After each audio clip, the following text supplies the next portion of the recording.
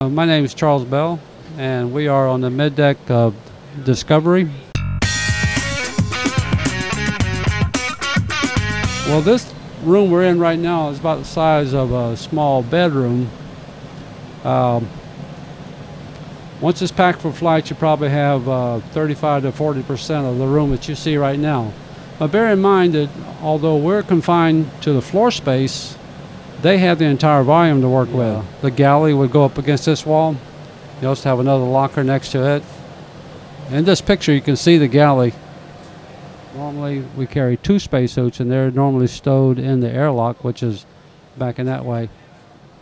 We would only use this airlock when we're um, performing a mission such as Hubble uh, servicing. Because normally, when we dock with space station, we use the uh, uh, airlock on space station.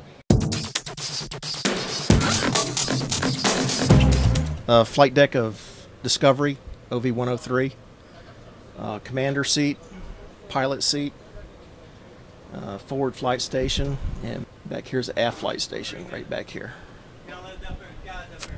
I started, let's see, I was out here TDY, and um, second flight. That's when I first started working on this this one. But over the years, I've worked on all of them. It's been used, but it's um, uh, national treasure.